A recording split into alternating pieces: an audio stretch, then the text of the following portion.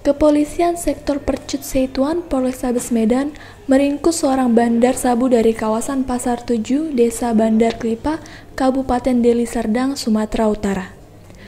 2 kg sabu-sabu yang masih dibungkus plastik berhasil diamankan polisi dari dalam lemari.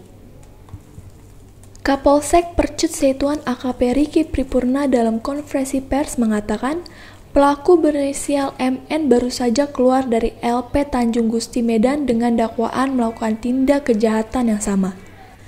Selain meringkus pelaku serta mengamankan 2 kg sabu, polisi juga menyita buku tabungan, kartu ATM, serta telepon genggam milik pelaku. Saat ini polisi masih terus melakukan pengembangan terhadap jaringan lainnya.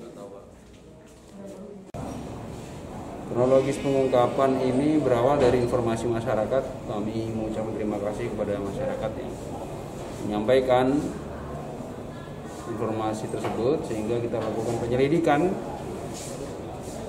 dengan cara undercover dan pembuntutan.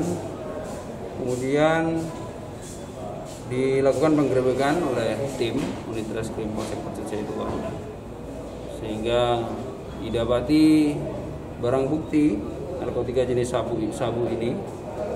Di dalam dua bungkus teh tersangka atas nama inisial MN jadi rumah tersangka ini termasuk di jalan Pasar 8 Bandar Kelipa dari keterangan tersangka barang ini diperoleh dari jaringan yang dikendalikan di lapas Tersangka berniat untuk melarikan barang ini tanpa pengetahuan jaringan. Dari Medan, Sumatera Utara, Zaki Ahmad Tribrata TV, salam Tribrata.